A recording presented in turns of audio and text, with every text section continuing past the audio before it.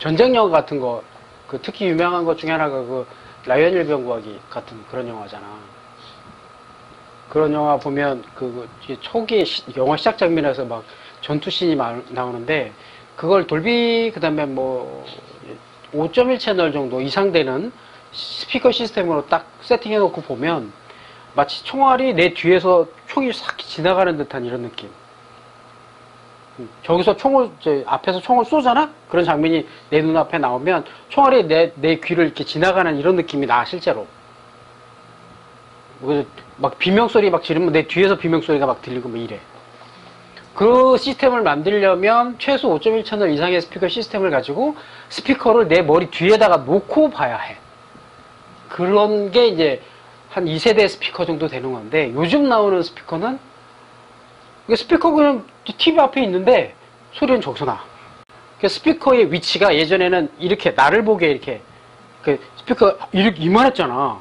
서 있었어 스피커가. 그래서 우퍼, 뭐 트위터, squawker 그래서 스피커 종류별로 이렇게 커졌는데 요즘 나오는 이 시스템은 스피커가 얇아. 근데 스피커가 위를 향하고 있어 이렇게. 그래서 위에 이렇게. 그러니까 얇은데 위로 이렇게.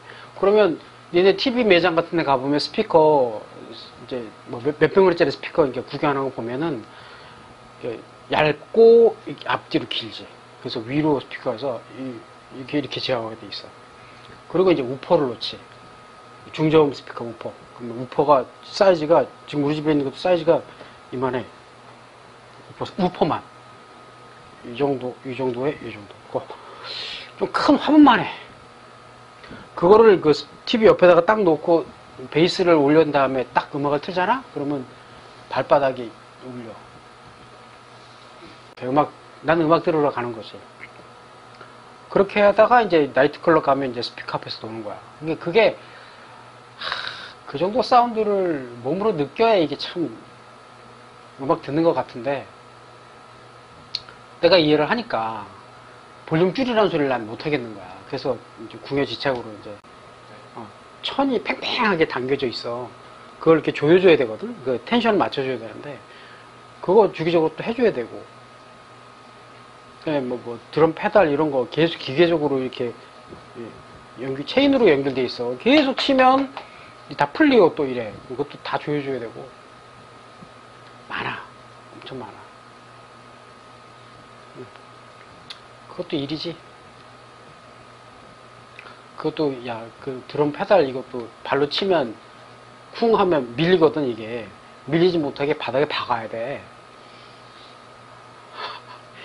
쿵 하면 좀 간단 말이야 이거. 이렇게 가가지고 계속 자기 위치를 이렇게 맞추. 어 맞춰줘야 돼. 근데 조금만 관심 있으면 TV가 사이즈는 커지긴 하는데 문제가 뭐냐면 얇아지잖아. 네. 그 스피커가 점점 나빠져. 스피커도 따로 연결해서 써도 그러니까 별도의 스피커를 사서 연결을 해서 쓰는 게 음질이 더 좋지. 이게 음, 음질이 차원이 달라. 특히 뭐 예를 들면 그냥 TV 프로그램 같은 거를 봐도 굳이 영화 같은 게 아니라 요즘 저거 있잖아. 그 열면무한이 요즘 음악 하잖아. 어, 이게 음, 이게 전혀 달라. 음, 그래갖고 뭐 조금 음악이라도 나온다 그러면 이제 스피커가 있는 게 확실히 다르지. 그래서 요즘 TV, 이게 TV가 사이즈가 커지면서 얇아지고 벽에 붙이는 이런 스피커 나오, 이게 TV가 나오다 보니까 스피커가 점점 한계가 될 수밖에 없어서 별도 스피커를 쓰지. 그래서 그런 시스템도 이제 조금씩 알아보다 보면 소리, 그다음에 뭐 소리 제어 시스템 이런 것도 좀 관심을 좀 갖다 보면 좋은 스피커가 얼마나 즐겁게 해주는지 이것도 알게 돼. 조금씩 조금씩 네가 알고 있는 것들을 좀 나눠주고 이제 그러다 보면 이제 모르던 걸 알게 되는 과정에서 이제 느끼게 돼. 근데 그런 과정이 없으면 계속 같은 실수를 반복하게 된다는 거지. 음. 아까 같은 뭐 에어컨 내가 얘기도 했지만 알면 좀 다르게 볼 수 있어. 근데 계속 관심을 둬야 해. 이제 그렇게 알아야 하는 것들이 이젠 너무 많은 시대야. 몰라도 되는 게 아니라 꼭 알아야 하는 것들. 이런 게 너무 많은 시대라는 거야, 지금은. 참, 어찌 보면 예전보다 더 위험한 시대에 살고 있는 게 아닌가 싶기도 해.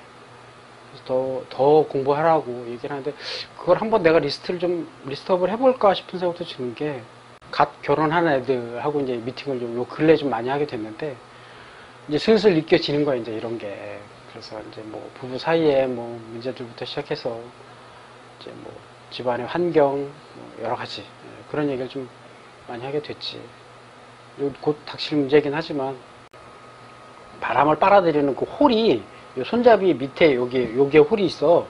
그 공기가 그걸 통하는 소리야. 구멍을 그렇게밖에 만들 수가 없어가지고. 근데 그, 그 특유의 소리가 나지 거기도. 뭐 소리 하니까 이제 여기서 또 파생돼서 할 수 있는 얘기들이 굉장히 많은데 소리로 유명한 자동차 있지.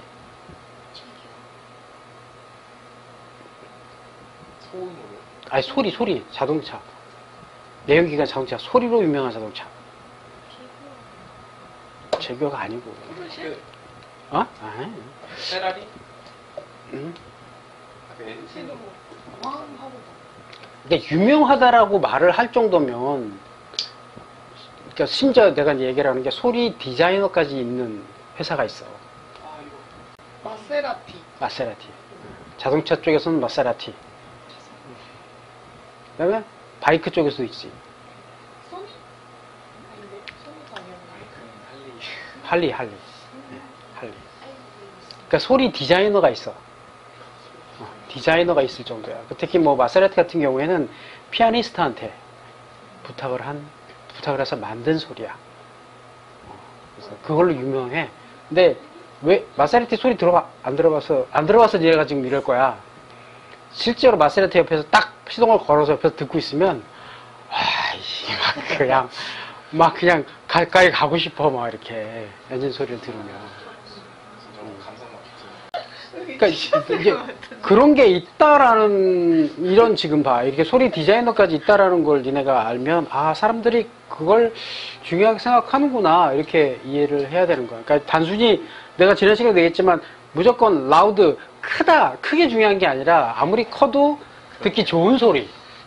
그치? 사람이 듣게 돼아커. 너무 좋은 소리인데 이걸 좀 더 크게 듣고 싶은 거지. 근데 이게 이게 좋은지를 모르면 시끄럽다고 생각을 하겠지. 아까 같이 마세라티 시동 걸 때 이걸 싫어하는 사람도 있겠지 모르는 사람들은.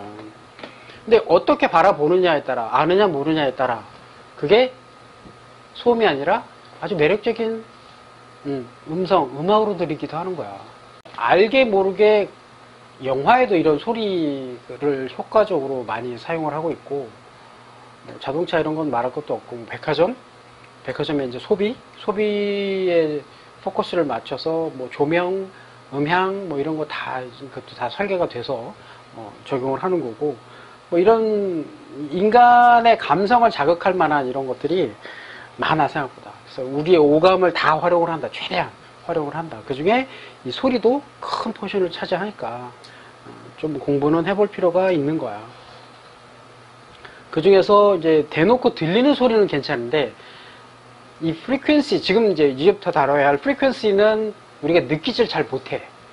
부지불식간에 우리가 영향을 받는 이런 분야에 들어가는 게 이제 프리퀀시인데 이렇게 움직일 때 얘도 이렇게 움직이는 거야. 이게 소리의 전파지 이렇게.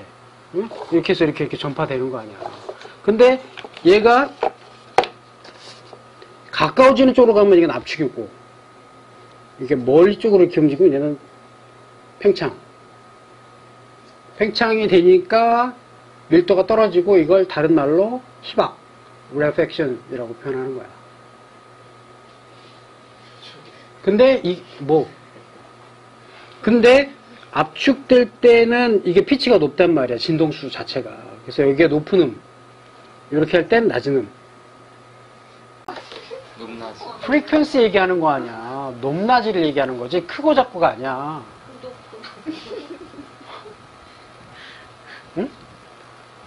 아니 그거는 멀리 있는 그러니까 소리를 내는 그 대상이 나보다 멀리 있느냐 가까이 있느냐는 크고 작고 얘기하는 거고 가까이 오느냐 멀어져 가느냐로 얘기할 땐 높고 낮음을 얘기를 하는 거야.